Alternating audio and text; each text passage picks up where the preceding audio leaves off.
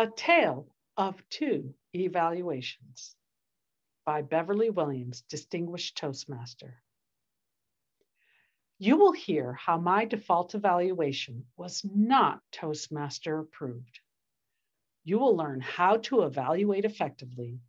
And finally, you will hear a story about a good evaluation.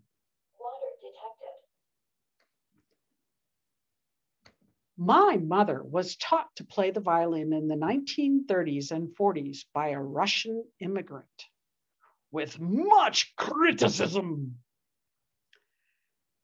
She taught me to play in the 70s when there was this emerging brand new concept that perhaps all criticism wasn't a good idea.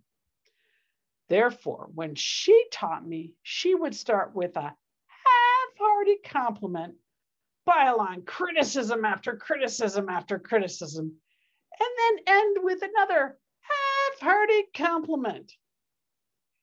If you compared her teaching technique to a sandwich, it would look like this. With too much criticism inside, was very hard to take this way of teaching. Just like how hard it is to eat a sandwich like this with too much inside.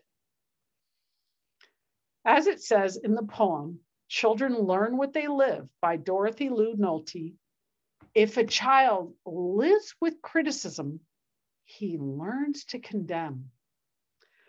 Consequently, because of how I was raised, the default way I would evaluate would be to criticize and condemn.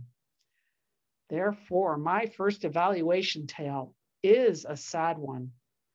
One time when I was evaluating an icebreaker speech, my default critical nature emerged. My evaluation was filled with so much criticism that the speaker never returned to Toastmasters. By contrast, more of that poem states if a child lives with encouragement, he learns confidence. If a child lives with praise, he learns to appreciate. If a child lives with approval, he learns to like himself. But if we only encourage and praise, how will anyone improve? What is the balance? How do you give an effective evaluation? Great question. Before the speech, review the pathways evaluation form and talk with the speaker briefly to review and discuss the pathways objectives and guidelines. Ask about any specific concerns the speaker has regarding the speech. On your own, look at page two to remind yourself of the other speaking goals. During the speech, record your impressions. Listen, was there a hook, jokes? What was the organization? What were the main points? Was there a call to action? Notice the speaking clarity, speed, gesture, stage use, eye contact, eye contact, eye contact, audience connection. And notice what the speaker wanted you to note.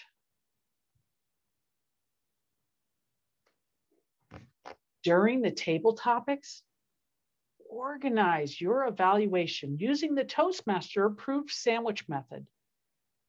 Encourage, improve, encourage and pray that the table topics take a long time. Organize your evaluation. Start with the positives by listing the items from the second page of the evaluation sheet. Remember, those are clarity, speed, gestures, eye contact, organization, and so on. Remember to summarize the speech. People want to know that they have been heard address whether the speaker met the pathways objectives for the speech. Notice any improvement over the last speech. If the last speech For instance, the speaker had 20 ums and this speech only had five, celebrate that. List one or two areas for improvement, remembering to suggest how to improve. And end with an encouragement. The encouragement could be summarizing the key points, repeating a positive or several positive, repeat their call to action. Most importantly, look forward to the speaker's next speech. Remember, if this is your first time evaluating, it's okay to just summarize the speech. Also remember to use I statements and not you statements. For instance, rather than saying, you look nervous, say, I noticed that you were wringing your hands a lot. Have you considered practicing the speech a little bit more? Or have you considered moving your toes when you're nervous? That's those are two other ways that you could get rid of nervous energy. Remember that everyone is on their own speaking journey but most importantly, remember that many of the mistakes new speakers make go away simply by speaking more often. So, the whole idea of the encouragement, a few areas of improvement, and more encouragement is to get everyone to speak more often. My second evaluation tale I joined Toastmasters on a Sunday and gave my icebreaker speech a mere two days later. I am sure there were at least 20 areas of improvement. However, the amazing evaluator used the Toastmasters evaluation sandwich method. She complimented me, gave me only two areas of improvement, telling me how to improve, and spent the rest of the time complimenting me. I was so encouraged. I thought, I can improve in those two areas. I gave a speech a mere two weeks later. The next evaluation similarly encouraged my strengths and gave me two more areas of improvement.